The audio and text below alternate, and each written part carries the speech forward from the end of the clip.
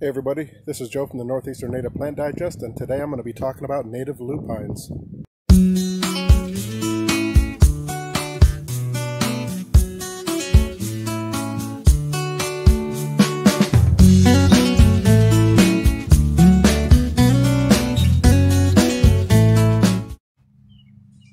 Hey, welcome back to my channel. I hope everybody's having a fantastic week.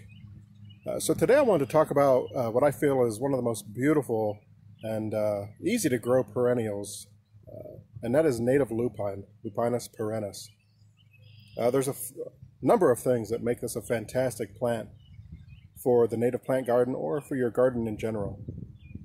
And the first thing I'd like to talk about is just the, the incredible beauty of this plant. Now take a look at this plant. These are uh, some clumps here that I have grown on the corner of my house probably about uh, three and a half feet tall. Just, but just a beautiful plant that uh, comes into bloom late May, uh, blooms for a couple weeks. It'll have repeat blooms into June. It's got some shoots coming up down there. But this is just a beautiful plant. Not just the flowers, but uh, even the, the leaves are very beautiful leaves. Just uh, so a lot of interest in the foliage and in the flowers.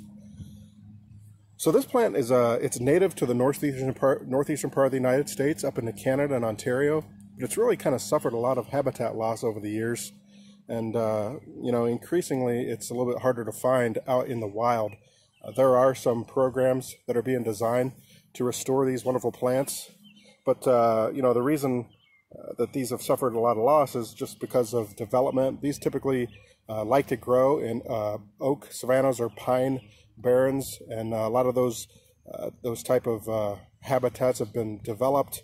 The, you know, the timbers, the, the cedar trees and stuff like that, the pine trees have been cut down and used in the in lumber and the production of of building materials and things like that.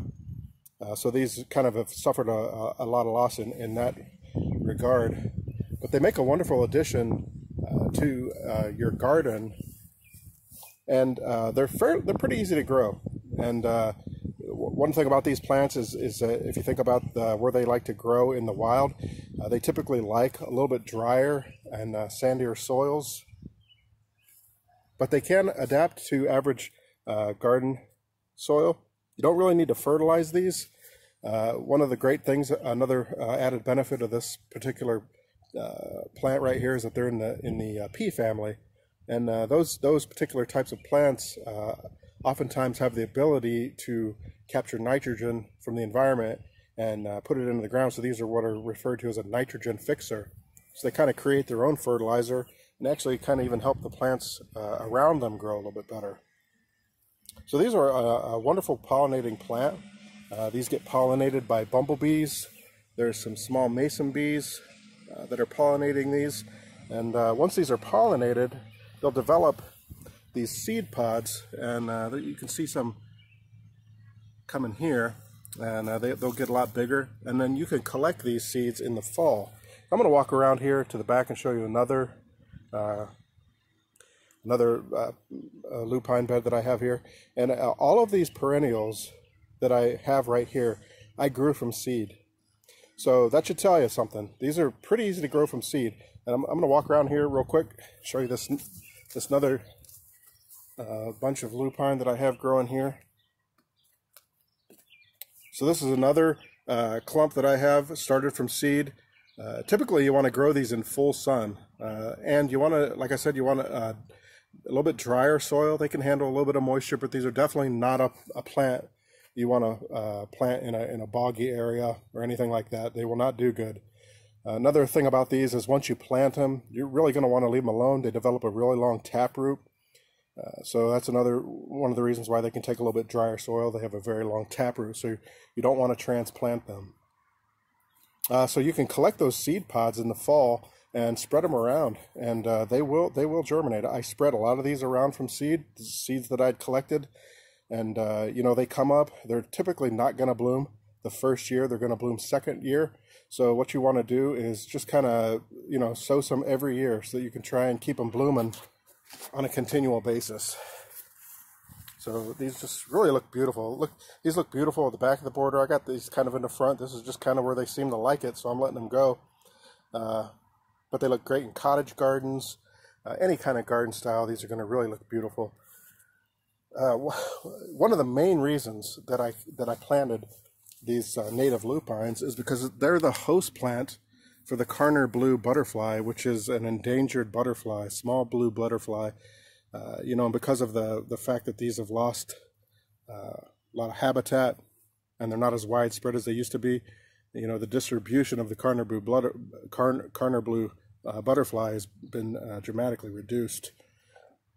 So I don't know if there's any in this part of Ohio where I'm at, but I figure it doesn't hurt. And uh, if I remember correctly, there's a couple other different uh, species of butterflies that, that also will use this. So you know, I'm getting a, a double benefit. But, you know, the great thing about growing native plants, and I'm going to walk back over here, is that, you know, if, if, if homeowners across the country and across the region would incorporate these into their gardens, you know, we could hopefully increase the distribution of the Karner blue butterfly and, and help to get it off the endangered species list.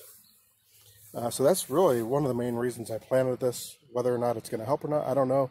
But I, you know, if nothing else, this is just a beautiful plant.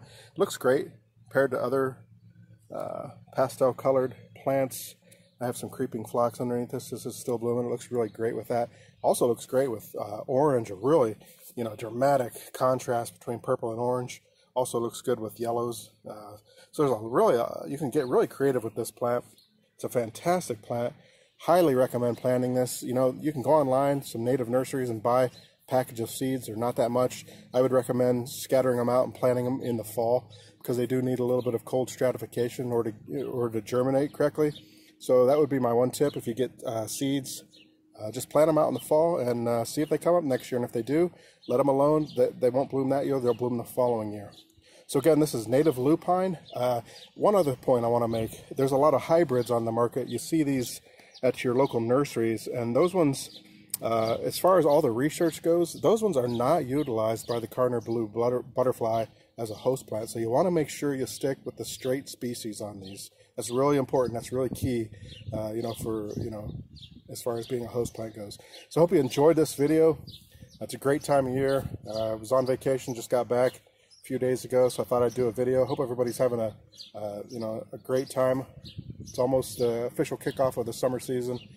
Appreciate all my new subscribers. Appreciate all the positive feedback.